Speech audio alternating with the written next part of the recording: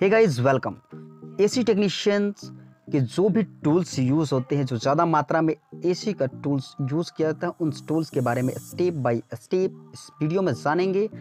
तो एसी के अंतर्गत कौन कौन से टूल होते हैं, जिनके बारे में हमें जानकारी होना चाहिए, वो हमारे पास होना चाहिए।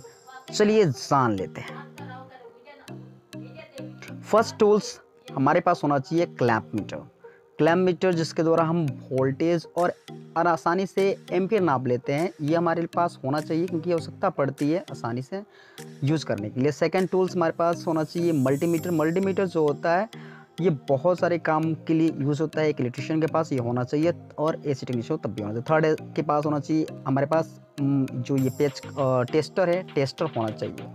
Fourth number plier, nose plier with wire stripper, ये होना चाहिए। प्लायर का इस्तेमाल पता है कितना होता है? वो होना ही चाहिए। फिफ्थ नंबर टूल्स जो होता है दोस्तों, हमारे पास पेचकस होना चाहिए, छोटा मीडियम बड़ा और सबसे छोटा। ये पेचकस बहुत ही इंपॉर्टेंट रोल निभाते हैं। सिक्स नंबर एडजस्टेबल रेंज ये एडजस्टेबल रेंज हमारे पास होना चाहिए क्योंकि इसके द्वारा बहुत काम किया जाता है। इसी के क्षेत्र में सेवन्थ नंबर टूल्स हमारे पास होना चाहिए दोस्तों, वो है एलन की सेट एलन की सेट का इस्तेमाल हमारे एसी में किया जाता है। एट्थ नंबर जो टूल्स होता है हमारे पास पिचिंग प्लायर ये पिचिंग प्लायर बहुत काम आता है तो ये हमारे पास होना चाहिए।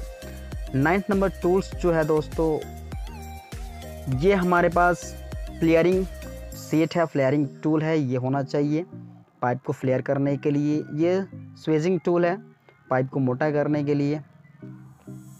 अलेवेंथ नंबर टूल्स ये पाइप कटर है, कॉपर पाइप कटर, ये हमारे पास होना चाहिए। ट्वेल्थ नंबर टूल्स जो है, ये कुछ हमारे पास होना चाहिए, थोड़ा बहुत कॉपर पाइप होना चाहिए, क्योंकि इसका इस्तेमाल हम करते हैं तो हमारे पास होना चाहिए।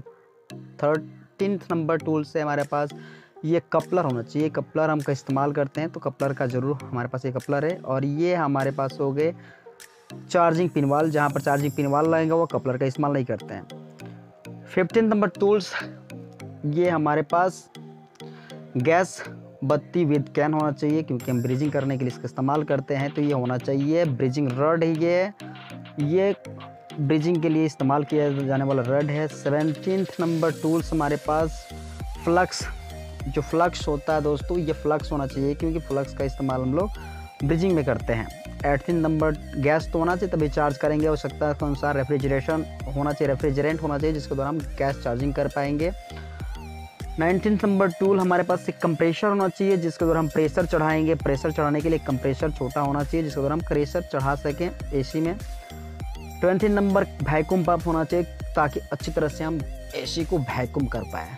ट्वेंटी फ़र्स्ट टूल्स होगा हमारे पास। ये मिनी फुटवाल गैस मीटर, मैनी फुटवाल गैस मीटर का इस्तेमाल किया जाता है गैस चार्जिंग के लिए।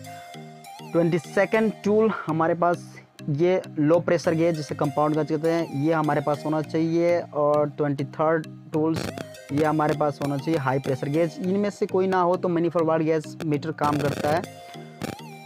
ट्वेंटी फोर्थ नंबर टूल्स हमारे पास, एक कैपेसिटर होना चाहिए, थर्टी सिक्स प्लस का कैपेसिटर क्योंकि 50 से 36 के बीच एक कैपेसिटर होना चाहिए और कुछ रिले और ओ होना चाहिए जब हम कहीं आते हैं ऐसे काम फ्रिज काम करने तो वहाँ पर इसका इस्तेमाल करना पड़ता है। तो हमारे पास होगा तो उनका चेक कर लेंगे। ये हमारे पास टी विद गोटी कुछ होना चाहिए।